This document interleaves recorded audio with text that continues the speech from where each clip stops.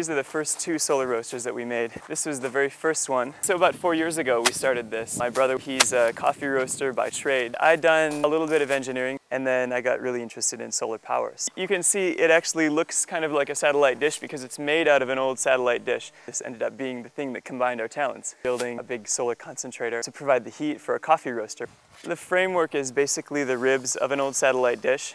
Instead of just covering the dish with a mirror or something shiny, we use a number of separate little mirrors that we could align individually. So they're actually little 8 by 8 inch plastic mirrors all lined up. You could basically focus the sunlight to a target right here and the target was our coffee roaster.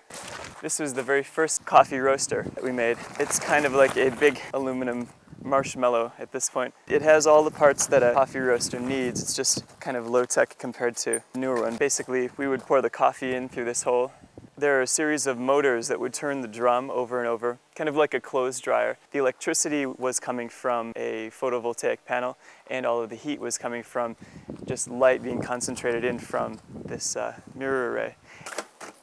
You can see the light would actually come right in through this window on the front and it's like a greenhouse, but the temperatures would be several hundred degrees. All of the light from all of these mirrors is focused through this one single window and the temperature can go up to seven or 800 degrees. At that temperature, it just vaporizes the coffee. Yeah, first roast of the day. The idea was that we needed some kind of coffee roaster and we couldn't afford to buy one at that point in time. We had to improvise, so we came up with the idea that we would use solar energy to provide the heat for coffee roasting.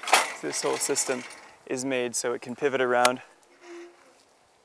you just aim it at the sun. And every five minutes or so, we would move it slightly to follow the sun throughout the course of the day. You always have to be careful to make sure these are facing north when you store them because the sun will come up in the morning and the light will reflect off of them and it will put a really hot spot somewhere. I almost burnt down our garage with one of these. I had it sitting in front. The morning light caught it. I came outside and it was just starting to burn the paint off the garage. So you have to be very careful. You can see this design is a little bit cleaner than the other design. This one is just simple rows of mirrors. You can still focus the light just as effectively. Um, we used glass mirrors on this one because they stay reflective for a lot longer. Plastic gets scratched and it ends up just becoming less and less reflective. These, they stay as, as bright as when you first got them. This was an experiment that I was working on. One possible architecture would be to use a trough type design instead of a big dish. It's just like a parabola or a cross section through a satellite dish, but it's very long, so the focus is actually right here. If you put a black pipe right through the focus, you can boil water with this. It takes about two or three minutes to get up to boiling temperature. The mirrors I bought as one foot square mirror tiles, and it took about three or four hours to just make all these little strips. The rest is it's just lumber. I'd say the total cost for this was about $350. It took a good week to put together. Concentrators, there are systems that are similar that are being used to make electricity. It could also be used for cooking or maybe even manufacture in some way. Some actual industry that isn't just about making electricity, but is about generating products or about replacing heat source with solar energy. You can roll it so it has a range of motion big enough to get the sun through most of the day. This trough is a one quarter scale system just to experiment and see if it would work. The result is it doesn't get hot enough, so the experiment showed me that it was not the right thing to go with. But uh, We've got a giant solar barbecue now. This is actually a tower that sits in the very middle of our new coffee roaster. There's a giant solar tower. All of these actually bolt together to make uh, a really big version of that white reflector you see there.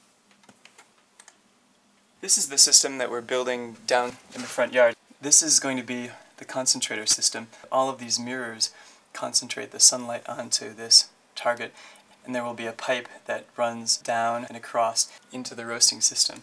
Throughout the course of the day, this whole system will basically track the sun, and it's just a giant easel for holding mirrors. When the solar day is over, it's stored, and we have covers that will cover the entire system. We need to have protection from hail and high winds and just rain. So basically a giant system of mirrors will be out here on a turntable out front. The sun will be collected by a concentrator here and we'll be using the heat right next door in this little system. Instead of the coffee roaster being out on the end of an arm, we're actually focusing all of the light onto a receiver and we'll just be bringing superheated air down and into the coffee roaster. And this is the new coffee roaster. Compared to the little aluminum foil marshmallow, it's a, it's a bit of a different story. All of the electricity for the process is being generated on site with solar panels. We have a one kilowatt array. Then all of the heat for the process is coming from the concentrator outside. I think the coffee is better. Some of it is the fact that we're not using any kind of combustive materials to do the heating, we're just putting heat in. And some of it again is the preferences and knack of the coffee roaster, my brother. Whatever the combination, it seems to be a good one. It seems to work for us.